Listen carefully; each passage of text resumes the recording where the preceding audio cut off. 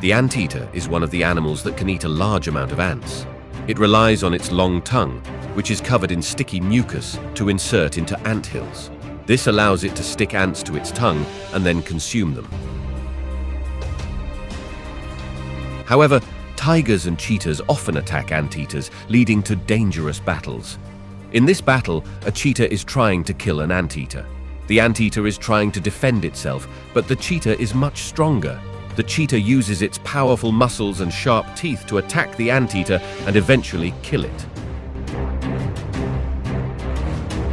One day, a hungry cheetah is looking for prey. It enters an area where a large number of monkeys live. The cheetah tries to kill one of the monkeys, but the monkeys all climb trees to escape. The cheetah is a skilled climber, however, and it is able to climb up the tree and chase the monkey.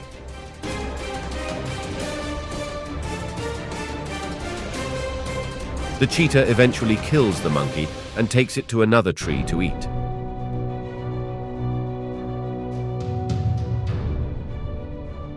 Strangely, there is a baby monkey with the mother monkey that the cheetah just killed.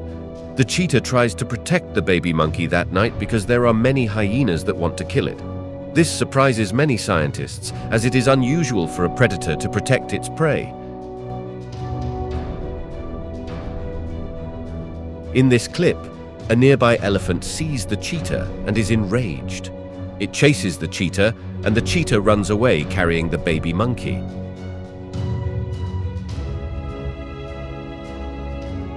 The baby monkey is unable to survive the ordeal, however, and it dies of hunger.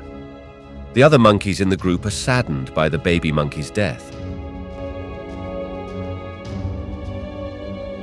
The crocodile is often attacked by many animals that live with it in the wild, so that these animals can prey on the eggs of this crocodile and destroy it, as it is considered a quick and easy meal that can be obtained easily. In this clip, you can see how the dangerous Komodo dragon tried to approach this burrow of this crocodile that laid eggs in it and was taking care of it. But at this time, the crocodile was not present inside this burrow, which made it an easy prey for the Komodo dragon. Immediately, the crocodile approached as quickly as possible and attacked the Komodo dragon to be able to drive it away from this area and preserve the life of its eggs.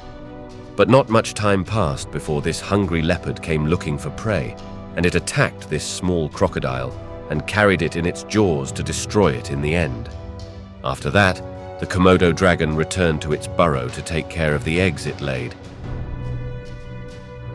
And this snake was feeling very hungry and trying to get an easy prey. Immediately, this snake decided to enter this burrow to attack the eggs of the Komodo dragon, However, the Komodo dragon did not hesitate to attack this snake and drive it away from this area to preserve the lives of his young. This led to a dangerous and very strong battle between this snake and the Komodo dragon, and this battle continued for a long time, and it was not known who would be able to win it easily. Then you can see how the Komodo dragon managed to attack this snake, but the snake was able to wrap around it to be able to strangle it and destroy it and devour it and the rest of its eggs. But in the end, it seems that both of them gave up, and this battle stopped without either of them achieving victory over the other. Don't forget to subscribe to the channel and like the video to get all the latest. Goodbye.